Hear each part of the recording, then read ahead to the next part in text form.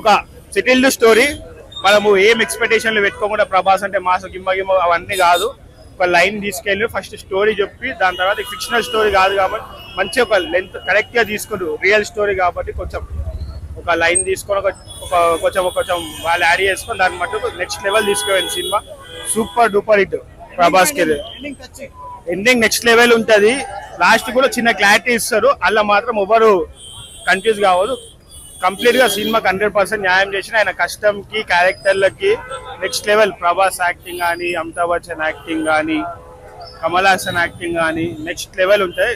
లాస్ట్కి కమల్ హాసన్ని మనం ఇంతకుముందు చూసింది టీజర్ అలా చూసిన దానికి ఇప్పటికీ చాలా చేంజ్ ఉంటుంది అది లాస్ట్కి చూసేసరికి ఒక కంప్లీట్నెస్ వస్తుంది ఆ క్యారెక్టర్కి ఆయన ఇప్పుడు ఆయన దిగుతాడు నెక్స్ట్ రౌండ్ లకి అది నెక్స్ట్ లెవెల్ ఉంటుంది cinema. Hundred percent hundred percent పడుతుంది మ్యూజిక్ మ్యూజిక్ చాలా బాగుంది. బ్యాక్గ్రౌండ్ మ్యూజిక్ కానీ సౌండింగ్ కానీ అన్ని సూపర్ డూపర్ కమల్ హాసన్ ప్రభు- ఆ, అమితాబ్ బచ్చన్ గారు ఫార్టీ ఇయర్స్ తర్వాత కలుసుకున్నారు కదా. ఎట్లా ఉంది స్క్రీన్ మీద? అంటే ఇద్దరిని ఒక ఒక ఫ్రేమ్లో చూపారు. నెక్స్ట్ పార్ట్ టూ లో అది ఎక్స్పెక్ట్ చేయొచ్చు మనము. కానీ నెక్స్ట్ లెవెల్ అంటే ఆయన సపరేట్ ఎలివేట్ చేయడం. ఆయన చూపించాడు ఒక ఆ కమల్ హాసన్ చూపించేది ఒక సెవెన్ ఎయిట్ మినిట్స్ అయినా మంచి ఎలివేషన్ ఉంటుంది. అందరి క్యారెక్టర్లకు న్యాయం జరిగిందా? టూ హండ్రెడ్ పర్సెంట్ జరిగింది. దీపిక పదకొండు కానీ దుల్కర్ సల్మాన్ ఉంటాడు మనకి విజయ్ దేవరకొండ వీళ్ళందరికీ హండ్రెడ్ పర్సెంట్ అంటే మనం అంటే మనం బాలీవుడ్ సినిమాలు వీటిలో చూస్తాం అన్ని పెద్ద పెద్ద హీరోలను తీసుకుంటే అలాంటి క్యారెక్టర్లు పెద్ద పెద్ద హీరోలను తీసుకొని మంచి హీరోలను తీసుకొని కంటెంట్ రిలీజ్ చేసి అంటే క్యారెక్టర్లు ఇది చేయకుండా బరాబర్ ఇట్లా.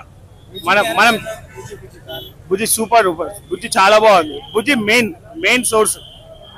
Main source బుద్ధి అశ్వత్థామ ఎంత పవర్ఫుల్ ఉంటారు బుద్ధిని కూడా అంత పవర్ఫుల్ చూపించాలనుకుంటారు అంతనే పవర్ఫుల్ చూపిస్తారు నెక్స్ట్ లెవెల్ సినిమా అయితే సూపర్ డూపర్ హిట్ అన్న. అందరు అన్నట్టు ఫస్ట్ హాఫ్ స్లో ఉందంటే మనకి ఈ ఫస్ట్ ఇది మనం మనం డైలీ చూసే రాసుకున్న స్టోరీ కాదు ఇది ఒక రియల్ స్టోరీ కాబట్టి అంటే ఇప్పుడు మనం యూట్యూబ్లో చూస్తున్నాం కల్కి స్టోరీ అవన్నీ కొంచెం అలాంటి అదే అదే స్టోరీ మొత్తం విఎఫ్ఎక్స్ మొత్తం అప్డేట్ చేసి మొత్తం మన మనకి ఎట్లే కావాలి అలా తీసిండు. చాలా అంటే చాలా బాగుంది సూపర్ డూపర్ గ్రాఫిక్స్ కూడా చాలా బాగున్నాయి. దేంట్లో కాంప్రమైజ్ కాదు ఇప్పుడు మనం మన స్క్రీన్లు కొన్ని చిన్న అయిపోతాయి కాబట్టి మనకు అలా కొన్ని అటు ఇటు అయితే కానీ టూ హండ్రెడ్ పర్సెంట్ న్యాయం ఇచ్చింది మన ఇండియన్ సినిమాకి ఎంత కావాలో అంతకంటే ఎక్కువనే ఇచ్చింది ఇది చాలా బాగుంది అన్న. మళ్ళీ చూడాలనుకుంటున్నాం. మరి సెకండ్ పార్ట్ కూడా చూడాలనుకుంటున్నాం. త్రీ లో చూడాలనుకుంటున్నాం. మళ్ళీ రావాలనుకుంటున్నాం. యాక్చువల్లీ త్రీ లో చూడాలి సినిమా. టూ కాదు. మళ్ళీ సెకండ్ పార్ట్ కూడా వెయిట్ చేస్తున్నాం ఎప్పటి నుంచో. చూడాలనుకుంటున్నాం. అన్న అన్ని క్యారెక్టర్ బాగున్నాయి అన్న. కానీ అన్ఎక్స్పెక్టెడ్ క్యారెక్టర్ కొంత కొన్- కొన్ని అన్రివీల్స్ చెప్పలేము.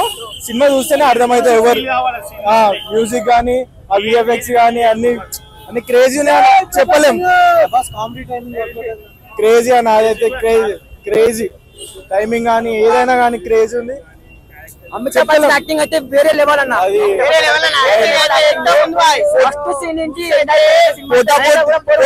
ఉందన్న పోటీ పోటా పోటీ. రెండు పోటా పోటీ. ఇంకా చూడాలనుకుంటున్నాం కానీ అప్పటి వరకు సినిమానే అయిపోయింది. సెకండ్ హాఫ్ చూసాం మళ్ళీ సెకండ్ పార్ట్ ఉంది అనుకుంటా. బాగుంది. ఎక్స్పెక్టేషన్ మించి లాస్ట్ క్లైమాక్స్ మాత్రం బాగుంది. ఫస్ట్ ఎక్స్ప్లెనేషన్ మహాభారత్ సీన్స్ చాలా బాగున్నాయి. తర్వాత లాస్ట్ క్లైమాక్స్ అయితే చాలా బాగుంది. హైలైట్ పాయింట్ ఏంటి? హైలైట్ ప్రాజెక్ట్ అమితాబ్ బచ్చన్ గారి క్యారెక్టర్ చాలా బాగుంది.